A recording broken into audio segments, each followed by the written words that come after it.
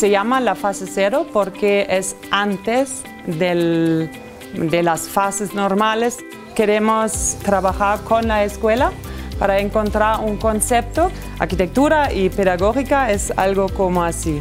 Un parte es la participación. Estamos juntos con alumnos, con padres, con profesores.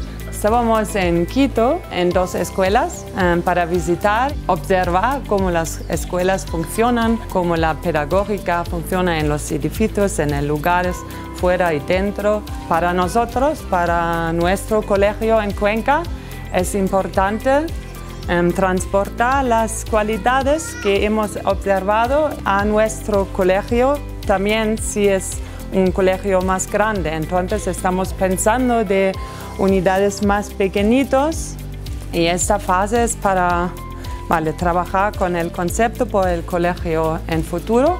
El arquitecto que al final va a planear y construir el, el proyecto eh, tiene nuestras ideas y conceptos como una base para su proyecto. Entonces, es el proceso cero antes del trabajo del arquitecto en futuro.